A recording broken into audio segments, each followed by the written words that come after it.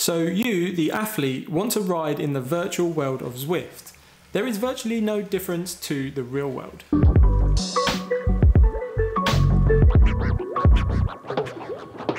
If you've come across this video, you're probably looking to explore Zwift and you have come to the right place. Zwift has dominated the virtual riding universe for a while now and if you are looking to level up your cycling like I was, you should be excited. Grab your bike, connect the trainer, download Zwift. It's that simple, right? and at first it seems like a daunting new world. From Watopia to group rides to the Zwift companion app, this is a complete guide to help you understand and start your virtual riding experience on Zwift. Before I go deep into the details of the setup, first ride, group rides, training costs and everything in between, we need to know exactly what Zwift is, which leads me on to my first point. So what is Zwift? Zwift is a virtual training platform that enables you to hook up your turbo trainer to your computer, iPad, phone, TV, Nokia 3210 and ride in a virtual environment. At first it seems like a weird unexplored world, which it is. However, tackling the unknown is rewarding and the same can be said for Zwift. We're all newbies once. You can compete against yourself in tailored workouts and training plans based on your FTP. What's an FTP? More on that later. You can also compete against others in virtual rides and races. There's a range of virtual worlds to choose from, including Watopia, New York, London, and routes for various rides can be found on Strava, where there's a leaderboard for each. Question two What equipment do you need for Zwift? The main thing that you need is a way to measure your power output, and this is what Zwift uses.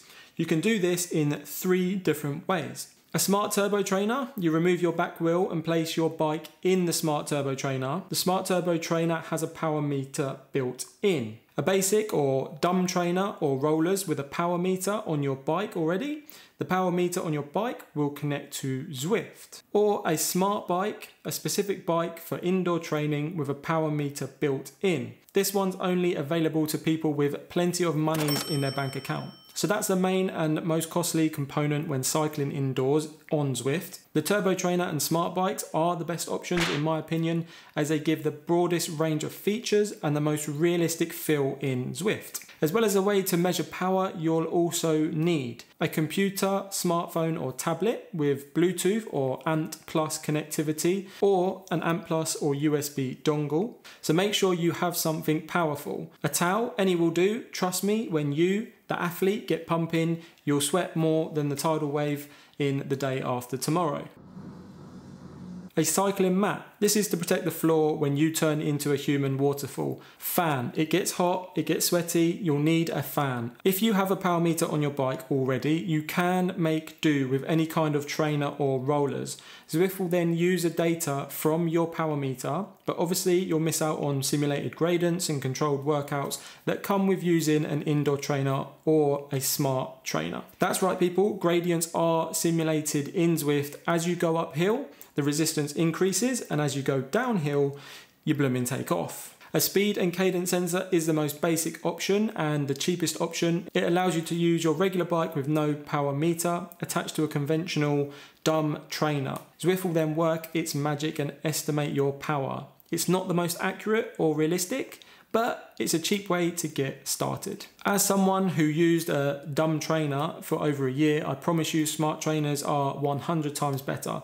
It's all about the realistic feel. Question three, what are the computer requirements to run Zwift? This is a boring one, so I'll keep it short and sweet. Zwift can be run on Windows, iOS, iPhone, iPad, or Apple TV and Google Play. Having a device that is portable can make it easier to use with. Bear in mind you want the device to be as close to you as possible to connect with the turbo trainer and any other sensors that you want to connect to. I won't bore you by reading out the details, I'll leave a link in the description below. So if you have a PC straight out of 1995, you're out of luck. You'll have to go and ask William Gates for an upgrade.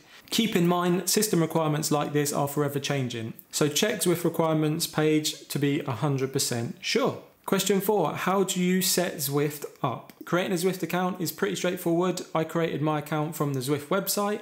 Once you've landed on the site, you just click on create account in the top right that big fat orange button. It's like they didn't want you to miss it. Then enter your info, name, email, password, shoe size, shoulder width, and your favorite color.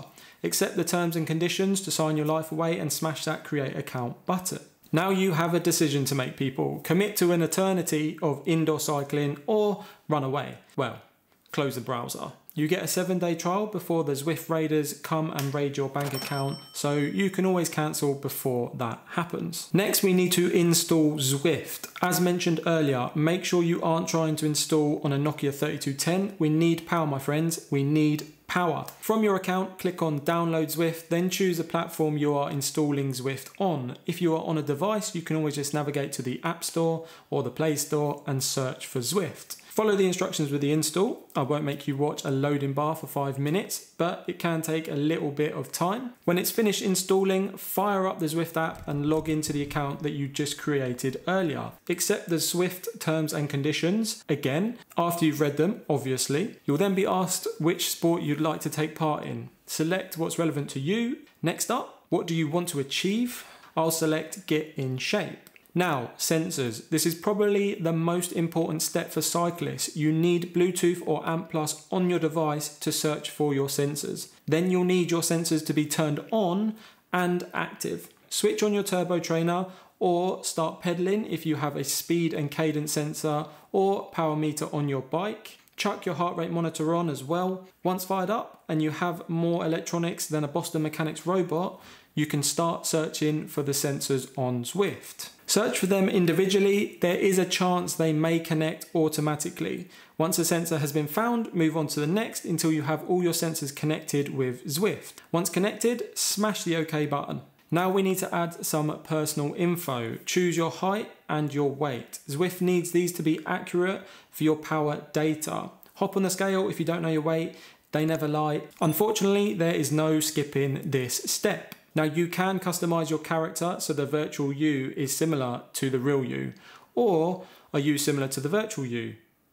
Who am I? You can select head type, hair color, and facial hair, as well as the color of your hair on the right hand side. Next, your bike, your machine. Adjust the color and pow, we are ready to ride. Question five, going for your first ride on Zwift. Your first ride is actually pretty straightforward.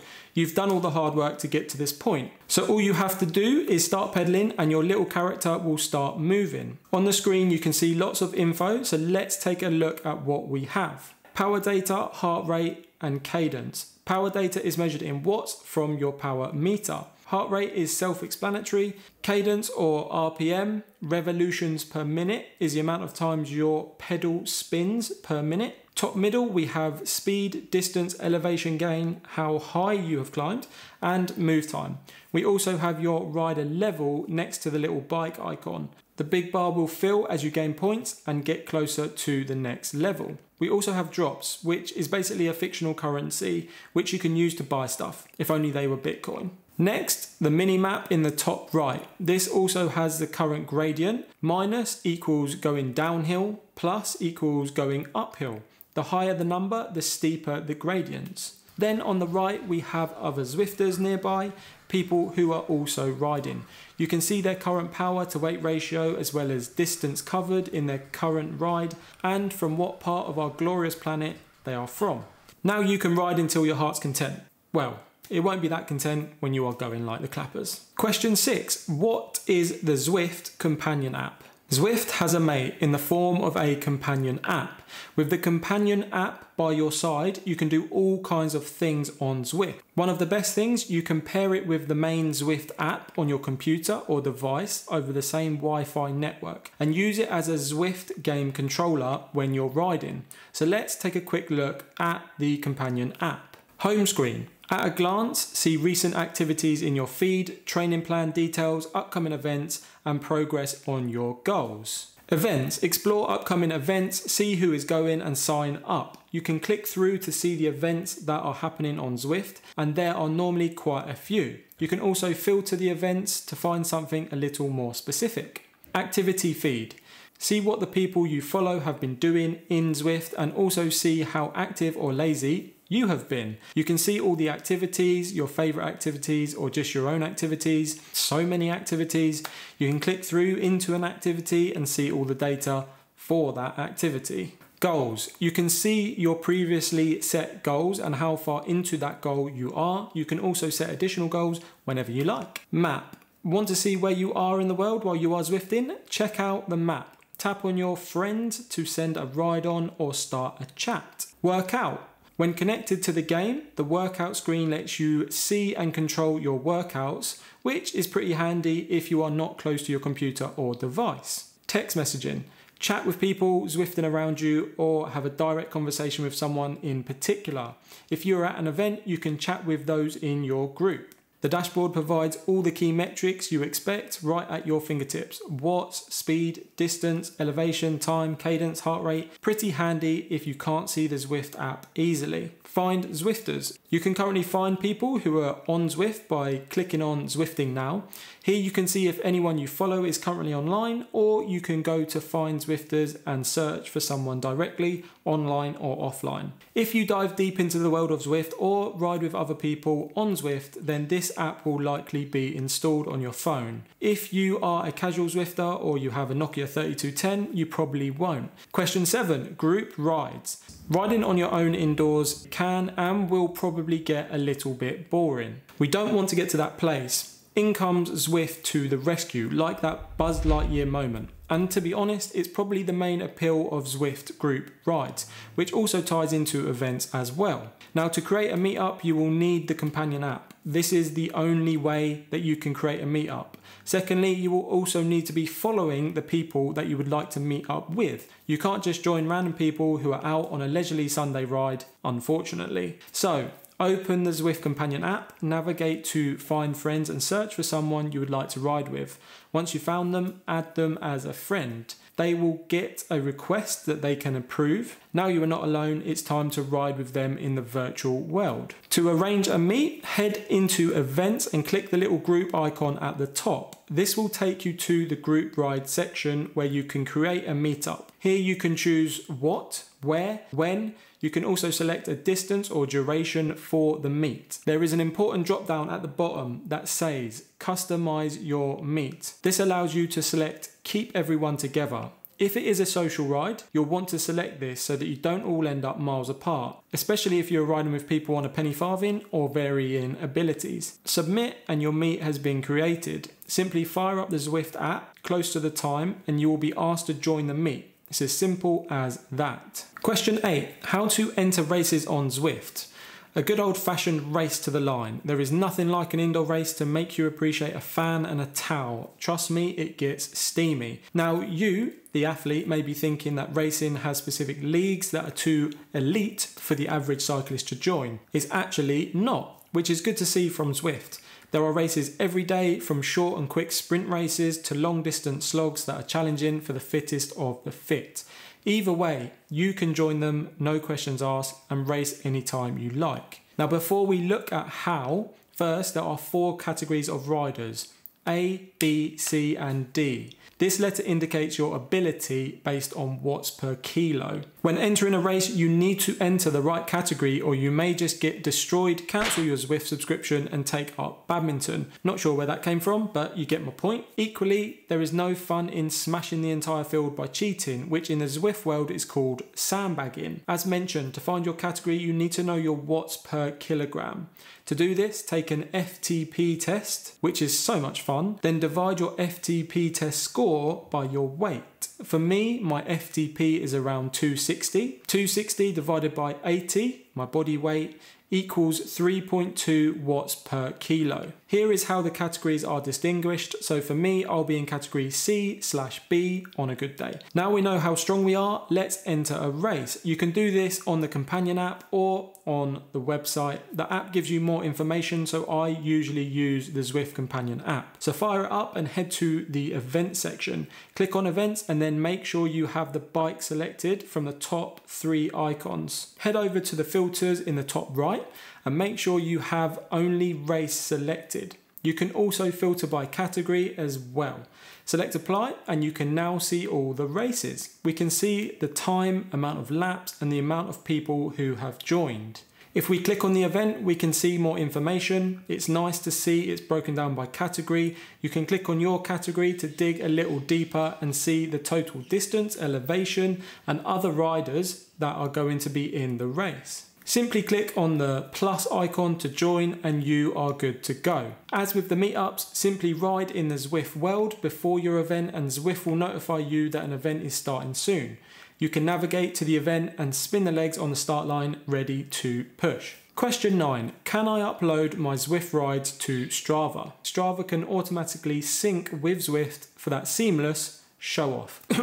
I mean upload. To upload a ride to Strava from Zwift, you simply need to connect the two accounts. Log into your Zwift account on the website to begin the fun. Click on your profile picture from the menu, which will take you to my profile, your profile. Within your profile, you are looking for connections, which we can see here on the right hand side. So go ahead and click on that. You can connect Zwift with as many platforms as you like, but for now, let's click on Strava. Now, you simply log into your Strava account and Bob's your uncle. The world now knows you are afraid of the bad weather and cycle indoors all winter. Question 10 Are there structured training plans on Zwift? Yes, there are structured training plans on Zwift that you can take on.